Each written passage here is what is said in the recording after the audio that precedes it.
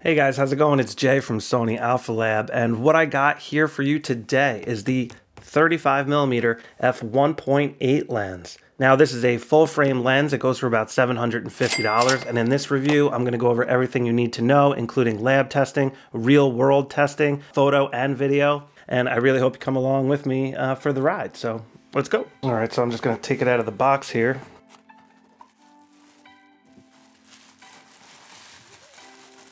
All right, so we have the lens hood here, petal design, and here is the lens itself. So this lens is definitely small and it's very lightweight. It only weighs in at 9.9 .9 ounces or 281 grams. All right, so you can see here it's got a manual AF-MF switch here and a customizable focus hold button, which is quite nice. Has a very large manual focus ring here, which feels really good. It's actually very buttery smooth. I wasn't expecting it to be this smooth. It also comes with a pinch style lens hood here. I'll show you the front and you can see the aperture diaphragm in there, which is a nine blade circular aperture diaphragm. It's also a 55 millimeter filter thread if you want to get filters for this, like ND filters and so forth. You can see it's got some nice lens coatings on it, but nothing crazy. It doesn't have the fluorine or the nano AR coatings like some of the more expensive lenses.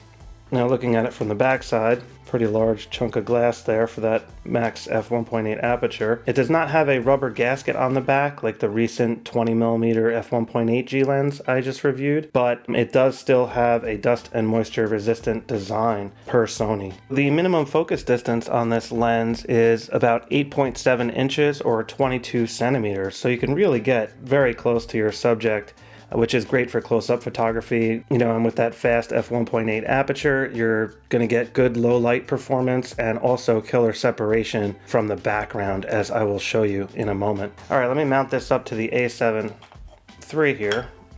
And you just line up the white dot to the white dot on the mount. And there you have it.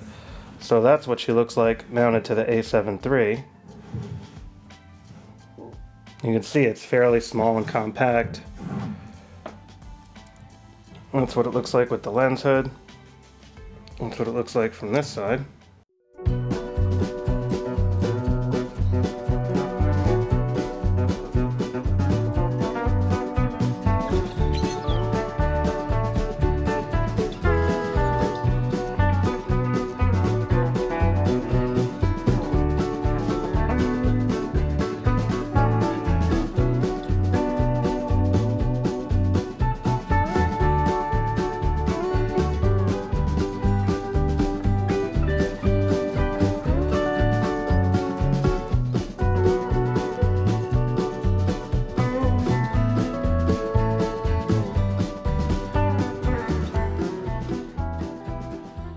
All right, so looking at some of the real world photos, I went down to the Green Bridge and here's just a landscape shot off the bridge. And this is a raw file. You could see the EXIF data up here. I was actually shooting at f1.8 for this particular shot.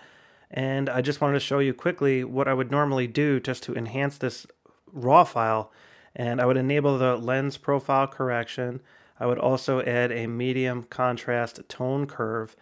And then I would scroll up. I would drag the vibrance up just a little bit and maybe the clarity just a little bit, something like that.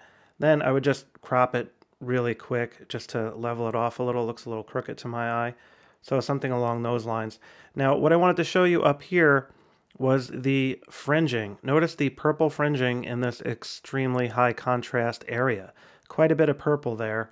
And I just want to show you how you can correct that. If you go into the lens correction profile and then click on manual here, you can then click this little eyedropper tool, go out there to this spot, and there you can see the fringing. You just click that, and it's pretty much gone. See that? Gone. So that is a flaw of this lens for sure, but it is easily correctable. So I just wanted to make you guys aware of that, that the lens does suffer from the fringing in the high contrast corners at f1.8 in particular, but it is fixable in Lightroom very easily, just so you know. All right, so here's another angle looking down, and I was just looking at the railing, and if I zoom in here, you can see that sharpness detail is really good, very good. And here's just a bolt sticking out there. Here's another angle. And I just took a picture towards my tripod here. So you can see the depth of field fall off is, is pretty awesome. Full frame camera, f1.8, 35 millimeter. Renders really nice.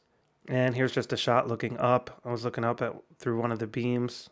I thought this one came out pretty good. And here's just what it looks like at the minimum focus distance. I put the camera down on the deck of the bridge and I focused on the bolt there.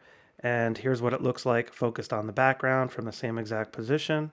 And here's just focused about three feet away. So you can see that depth of field play you can get with this 35 millimeter f1.8 lens on the full frame Sony a7 III. Now here I just took a couple of snapshots of me using the Image Imaging Edge mobile app. I have a tutorial on how to use that if you want, so I was remote controlling the camera. And as you can see, I'm really starting to get fat and also turn gray here. I got a nice gray hair coming in, but otherwise, you know, you can see the sharpness is pretty darn good. And then I'm just doing the thinker pose. And uh, there you have it. So here's just a shot looking down and I stopped her down to f5.6 for this one and you can see the clarity and detail on the grain and the bolt is is just excellent. Just a couple more shots here looking through the railing and here's just a lock on the railing, another depth of field play type shot. And let me just show you what it looks like without the lens correction here so you can see how there's very, very little distortion. You see that? I used manual focus for this particular shot and I just focused on the weed here so you can see just how incredibly narrow the depth of field is on a lens like this when you're at the minimum focus distance. It's absolutely remarkable and it produces some great results as you can see here. Now there happen to be some cool farming equipment here like a corn husker. I don't even know what you call this thing, a combine maybe. Here's some detail shots so you can see the corn in there. It's got this cool auger mechanism. It's got some gears there. And I thought this corkscrew rendered pretty nice with that depth of field fall off. And here's what the front of it looks like. So it can just drive along and scoop up the uh, corn and just rip it off. There's a cob. And look at the point of this thing. It's pretty nasty looking. now here's where the corn gets sucked into the unit. Here's another look at the front of that point, and it kind of looks like the front of a boot of a really bad guy back in the day, how they had those metal tipped boots. And here is the Turbo 8820 John Deere machine. I'm not, again, I'm not sure if this is a combine or you would just call it a tractor, but it's obviously a weird looking machine. So I just focused on the weeds here in front of the machine so you can see how that rendered and I thought that looked really cool. And here's a shot focused on the Turbo 8820 through the weeds, so you can see what that looks like. And this is just under the bridge. Now I found these cool metal sculptures I've taken pictures before in previous reviews and I just went to visit now. These are getting a little older so there's a little bit more detail on these guys from the rust and whatnot. And I thought that these shots came out fantastic. I love the way the 35 millimeter view of the world renders on a full frame camera. It's, it's awesome and it allows you to get really cool shots like this. I particularly love it, so I was very impressed with the results of these particular real world shots. Look at his foot here. I love these uh, sculptures from Zach Max. He does a great job. There's another one. Look at this guy. I mean, that's just incredible. You can see the detail is exceptional on this color, clarity. I mean, just fantastic. Just more of a close-up here and a few detail shots. And then me and Jace were working on this Lego car the other day, uh, the McLaren F1. Pretty awesome. So I just wanted to show you a minimum focus distance test here. Now, one thing I did notice is the green ring around these bokeh balls. I also noticed that on the 24mm f1.4 GM lens had that same phenomenon. So I just wanted to point that out there in this particular shot. This toy is only about five inches across in actual size, so I'm just really close to it. And uh, these shots came out really good, I thought.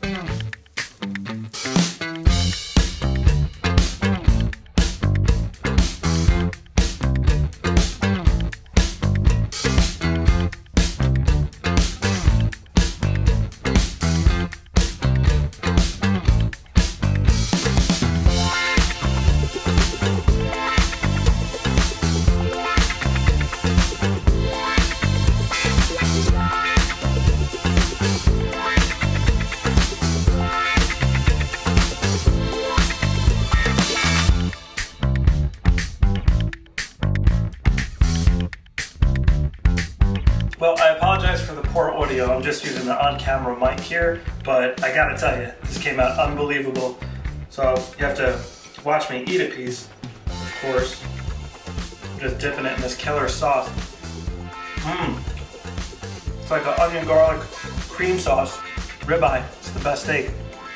All right, guys, let's get into the lab and see what this can do. As you can see, I'm about eight and a half inches away from the quarter or approximately 22 centimeters. And looking at the photos here in Lightroom, this is what the capture looks like. So you can see this is how big the quarter is at that minimum focus distance. So when zoomed into one to one, this is what it looks like. And you can see the sharpness and detail at f1.8 is pretty darn good. Now you can see up here on the top left the EXIF data, just so you're aware. Now if I go to 2 to 1, and look a little bit closer in the high contrast areas, there is a little bit of fringing at wide open f1.8. So let's stop her down to f2.8 and see what it looks like there. And you can see most of the purplish fringing went away. And now at f4 I can see a little bit increase in sharpness compared to f1.8 and f2.8, so that makes sense. Lenses get sharper when you stop them down in general. f5.6 you can see here it's looking pretty darn good, but I am starting to see some octagoning on the bokeh balls there. Here at f4 they are still really round at f5.6, however, you can see they're starting to octagon a little bit. So let's go to f8, and now you can really see the octagoning effect that you get. But the sharpness is really exceptionally good at f8 here in this minimum focus distance test. And just to show you, here's what f11 looks like. Here's what F16 looks like. All right, so moving back from the quarter quite a bit here, I wanted to try to get a better shot of the entire lab scene so you can see corner sharpness detail and things like that, color rendition. And these are raw quality straight off the camera, by the way, just so you know. I did not make any adjustments whatsoever. These are straight off the camera. So I do want to show you what it'll look like with the lens profile enabled. And you can see here, when I enable the lens profile at f1.8, it pretty much takes care of the vignette, that darkening in the corners you can see kind of goes away and there is a very little bit of distortion but not much at all. Distortion control is very good on this lens. All right so here's what the sharpness looks like. I do still see a little bit of purple fringing here on this high contrast chrome but i don't see any on the coins down here. So that's interesting and just worth noting.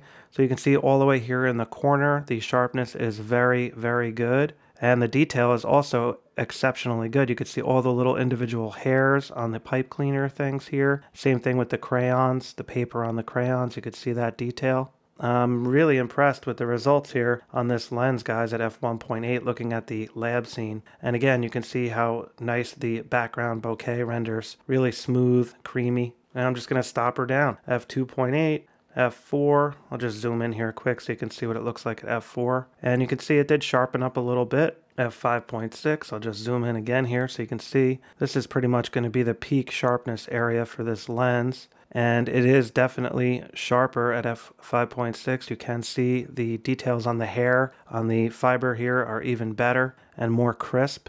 Same thing with the circuit board. It's just a little bit more crisp, a little more detail. And here's F8, here's F11, F16, and F22. And you can see at F22, you do definitely get a noticeable loss in sharpness due to diffraction. F16, however, is looking pretty darn good. F11 is also very sharp, and F8 is exceptionally sharp.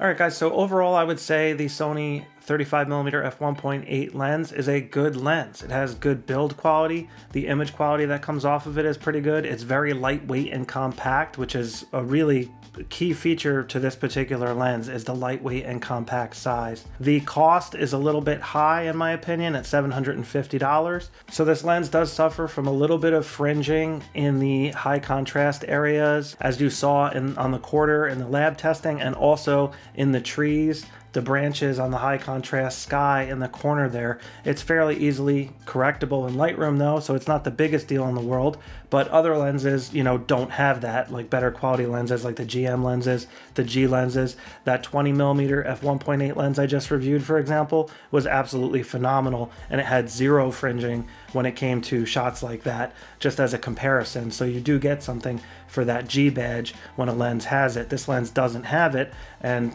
you know, that's why there's some fringing there.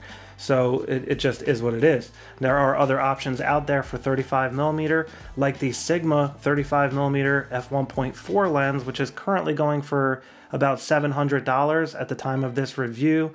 And it is definitely going to be heavier. It doesn't have as good of a minimum focus distance, but you're getting the faster f1.4 aperture and exceptionally good image quality on that particular optic as well. And then you have the Sony 35mm f1.4 Zeiss lens, which goes for about $1,600. It's like double the price of this lens, and that's also big and heavy, but it's an exceptionally phenomenal lens. I reviewed that lens, and it really is amazing. The other option you got is the 35mm f2.8 Zeiss lens, which is very compact and lightweight, but that also goes for around $800 or so. And it's got the slower f2.8 aperture. It's not exactly slow, but you know, it's slower than f1.8 and you know obviously f1.4 that is pretty much it for this review guys. I really hope you got what you were looking for. And you know if if you felt like the review helped you out if you could do me a favor and give me a thumbs up i'd really appreciate it. And if you want to be you know notified when i come out with new videos new reviews and stuff be sure to hit that subscribe and notification bell. Thank you for watching Please be safe out there and have a wonderful day. I will catch up with you next time. Take care.